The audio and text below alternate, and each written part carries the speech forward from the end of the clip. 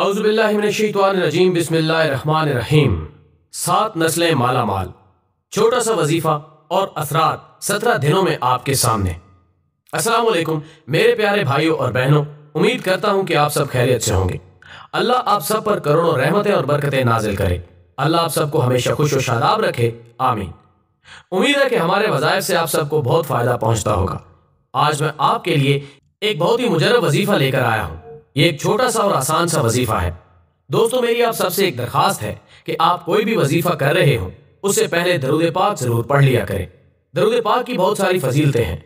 दरुद पाक के बारे में अल्लाह पाक ने कुरान पाक में इरशाद फरमाया कि बेशक अल्लाह और उसके फरिश्ते हज़रत मोहम्मद सल्लल्लाहु अलैहि की ज़ात अकदस पर दरुद सलाम पढ़ते हैं। ए ईमान वालो, तुम भी हज़रत मोहम्मद मुस्तफ़ा सल्लल्लाहु अलैहि की ज़ात अकदस पर दरुद सलाम पढ़ा करो।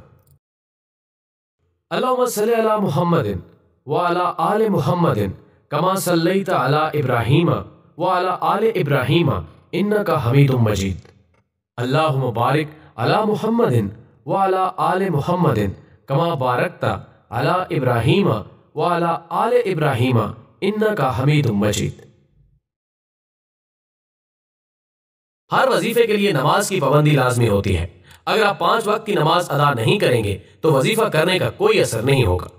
आज का वजीफा ऐसा वजीफा है, जिसकी बरकत से अल्लाह पाक रिज के ऐसे ऐसे दरवाजे खोल देते हैं कि इंसान के खुद वहम गुमान में भी नहीं होता।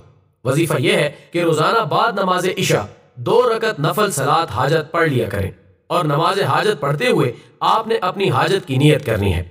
नीयत कुछ इस तरह से करनी है, ए मेरे मालिक, मैं बहुत ज़्यादा परेशान हाल हूँ, बहुत ज़्यादा मायूस हूँ, ए मेरे मालिक तू मुझे इस दुनिया में किसी का मकरूज ना करना। मुझे अपनी गैबी खजाने में से इतना नवाजना कि मैं तेरे रास्ते में खर्च कर सकूँ। ये नियत करने के बाद दो रकत नमाज़ हाजत अदा करें। नमाज़ मुकम्मल करने के बाद सौ मरतबा ये इसम पढ़ लें। या मालिकुल मुल्क जुल जलाल वल इकराम। और फिर आखिर में दरूद शरीफ पढ़ लें। इस अमल को आपने तब तक जारी रखना है, जब तक मतलूबा रिज़ल्ट ना मिल जाए। ख्याल रहे कि मकरू वक्त में यह अमल ना किया जाए। खातन अपने आयाम मखसूसा में ये अमल ना करें। पाक साफ़ होकर ही ये अमल किया जा सकता है। इनशाला आपको वाज फ़र्क नज़र आएगा।